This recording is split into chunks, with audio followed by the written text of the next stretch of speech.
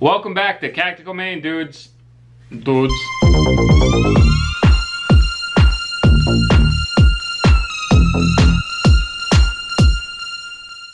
The time is finally upon us. Mwah! Yes, awesome, stupid sauce, guys. Holy cow, I'm a little excited. I finally got a new trigger to replace this horrible piece of crap that came in the Arsenal SLR 104 FR. A lot of people think that I don't like the trigger because of the pull, the two-stage pull. That is not why I don't like this trigger. I hate this trigger for the fact that it fails to reset. It just does not reset. I can sit here. Let me go ahead and clear the firearm. Clear. I can sit here and pull on it all day long on camera, rack, and try to show you how it sticks on the reset, but it's not going to. But I almost had no pressure on there and it didn't want to reset. It's absolutely horrible. Uh, more than one person has felt the reset on this. I have video showing me completely letting off the trigger while I'm firing and the reset just not coming and I had to go back and hit it. That is why I hate the trigger, the Arsenal trigger so much. It's not the two stage, that doesn't bother me, not one bit. But to replace it, I got the ALG AKT-EL Enhanced Lightning Bow Trigger Design. Guys, there are so many different versions of this. I thought there was just the ALG AKT and the AKT-E. I didn't know that there's so many different versions and different coatings. I got what I found in stock.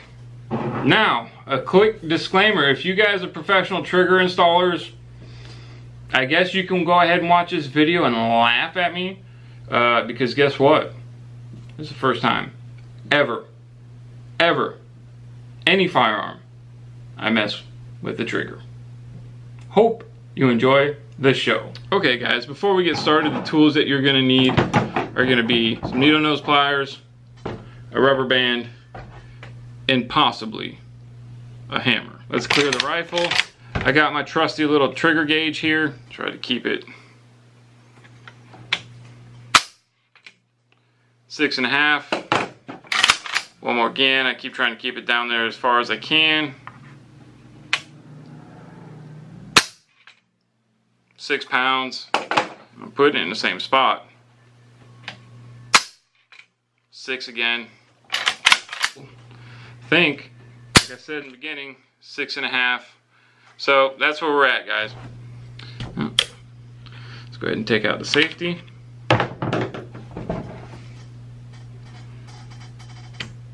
release that horrible doohickey. Man, there's a stupid little shepherd's hook in there. Shepherd's crook. Don't worry guys, I will edit this video so you don't have to see all of my jackasseries. This right here was the biggest pain in the ass to get out. I didn't think it would be, but holy shit, the way Arsenal put this in, you had to bend and contort and get this pile of crap out there's no way to reuse it unless you guys know a magical trick on getting that out. Remember, it's my first time pulling out a trigger of anything, so it very well could have been a magical trick that I did not know about. There's that piece of garbage. Stamped USA. Anybody want an Arsenal trigger? Let me know. I'll do my best to send it to you. I might just set it on fire. It does come with a decent little uh, instruction manual. That's illustrations and everything for you guys if you need it. Okay guys, anytime you get the guts out of your uh, your rifle, I say is a good time to get a rag down in there and really clean her out. Unfortunately, I don't know if you guys are gonna see it or not, I shoot uh, Golden Tiger. I don't know why the camera's not wanting to focus. I shoot Golden Tiger a lot through this one, 545 by 39. I really like it. Unfortunately, it's got that purple lacquer primer sealant and neck, and it just builds up inside the receiver. It just builds up in there. So if you have your guts out, might as well run a rag through it. All right, guys, let's open up this monster cool trigger. Comes in a package. Some people may complain about the packaging. It's just a plastic bag with the instructions uh, photocopied and stapled to it. Um, I don't. That's how they keep the prices low, guys, so I don't care. Look at that trigger. There she is in all her glory. That lightning bow. All right. Hammer. Sear. Sear spring. Yada yada yang yang. And there's an auxiliary spring if you want. I think, I believe it gives a heavier uh, trigger pull. I'm not to roll with it. I like light triggers. Uh, my Daniel Defense has a light trigger. I'm accustomed to light triggers. So let's see what this Joker gets. And not to mention, the Tapco G2 trigger is an extremely light trigger on its own. First thing I need to do is test fit it and see if I need to put a roll pin in there to uh, engage my safety. Alright. I got big fat fingers, so it very well may be a pain in the butt for me. That that actually went in pretty damn smooth the first go around. Now I just got to keep that spring from popping out and get my trigger pin back in. And there we go, it's in. There we go. Give my hammer pin. Damn, that was almost spot the hell on. The hammer pin went in beautifully. So now let's, let's try and get these down. That joker. I just let them go and they both went right into their spot where they're supposed to go. See if the safety works. I've read a bunch of stuff on the Arsenal SLR 104 FRs that the safety does engage, but, ah, poop. Everyone wants to see it. Safety's engaged.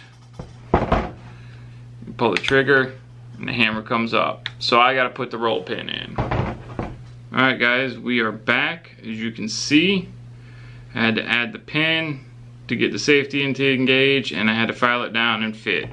Um, it's really not that big of a deal to file it down and, and do your fitment. All you gotta do is just drop your actual trigger in, put your trigger pin in, put your safety in and see. You don't have to mess with the sear and the sear spring and the hammer and hammer springs to test fit. All you got to do is put this in there and you will be able to tell if your safety will function or not. So, we've got that done. How about we put this joker together? I do have this return, retainer plate I got to put in there as well. Let me get that out of the bag. So far, guys, it hasn't really been, I mean, there's been a little bit of headaches here and there, but that's that's to be expected. So we got that good to go. Another thing guys, if you want to put some grease on your trigger and hammer pins, uh, now's the time to do that. I just want a tiny little bit in there. Just a little bit. Grease goes a long way, dudes. It goes a long way. If you want to get some inside your hammer there, now is the time to do it. Again, you don't need a lot, just a little bit. Grease goes a very long ways. Just put a little bit on the, the hammer pin. Again, it's gonna be hard for me to do this to where you guys can actually see. And I apologize for that. But there is, there really is no way for me to get the camera up and over me, um, short of installing a camera mount on the roof, which I don't think Mrs. Tactical Maine will go for that, even though it is my man cave. I probably won't go for it either, so just drop in. And it drops in nice and easy, guys. I'm telling you, it's, it's, it's, oh, and then I hit the trigger. it goes in. You do have to be careful with your, your sear and your sear spring, but I just want to make sure everything is good to go. It really is not that big of a deal to take this stuff out, guys. It really isn't. Um, it really isn't that big of a deal to take this trigger out. It's actually really, really easy. Look at it, more grease. Get that grease, get it on the rail, hammer face. Hammer time. Let's get our safety in. Let's check function, shall we? All right, see that? Okay guys, the sear is actually not hitting, the tail of the sear is not hitting that rivet back there. I'm gonna go ahead and take the uh, safety out. Maybe you guys will be able to see it. It looks like it's sitting over top. You can see it right there.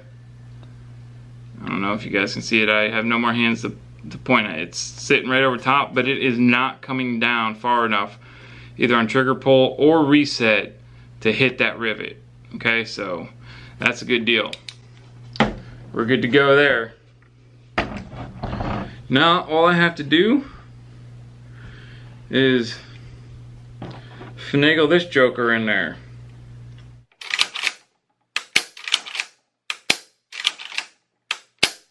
Tell you right now, this is a whole lot, it's a whole lot smoother than riding over this lumpy bastard.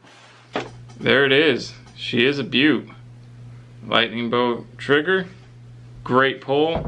Oh. Look at this. Reset.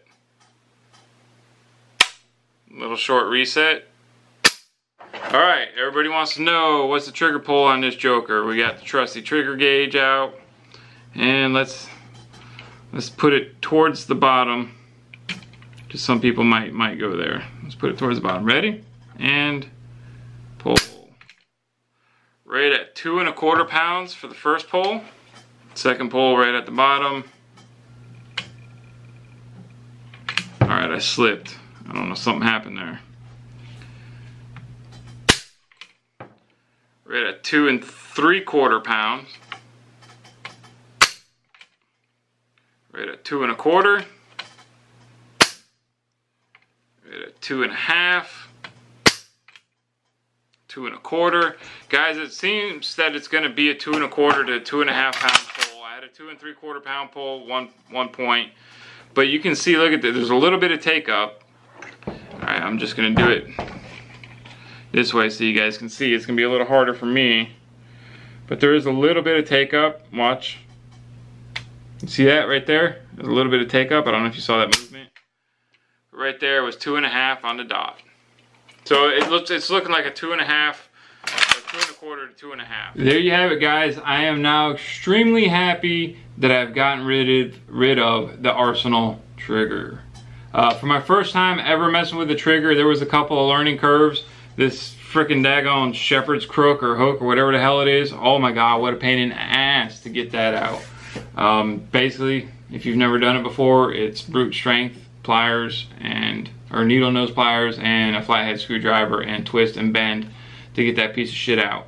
Uh, it might not be every time I've seen it online, someone just pulled it right out. Mine was all bent and, and twisted around the pins yeah, it was locked in. So, I mean, at least Arsenal did that so your pins don't walk out. But what a pain in the ass. Installing the trigger was really easy, especially for never of doing it before. I did it without a problem. No problem whatsoever. Um, everything went in. I had to put the roll pin in for the safety to actually function. All right, you guys, you see the safety does work. It's, it's not firing. You take the safety off, fires. Okay. The safety does work. Um, and it was, it was really easy. I just filed it down with my Dremel tool and the rear the rear little tang sticking out of the back of the sear, it sits over the rivet and the arsenals. It sits over the rivet right there, uh, but it's not hitting it. It's not hitting it when the trigger is being reset. It's not being hit when the trigger is um, depressed. It's not hitting it when the trigger is depressed and reset. I am going to keep an eye on that. Um, obviously, things get a little bit more violent with live rounds flying through and live rounds racking the bolt instead of just your hand. So I will monitor it after its next range visit. You've seen it guys, it's about a two and a quarter to two and a half pound trigger without putting the extra spring in there. I don't want to put the extra spring in there right just yet. I want to go have some live fire. It's a it's it's a light trigger, guys, but I'm used to light triggers with my Daniel Defense with the Geissele uh, Super 3 gun in there. So I'm used to it. I'm good to go. And besides, the Tapco G2 is only like a half pound heavier, so really, let's go on with it, guys. It's a beautiful trigger. Love the feel. Love the lightning bow design.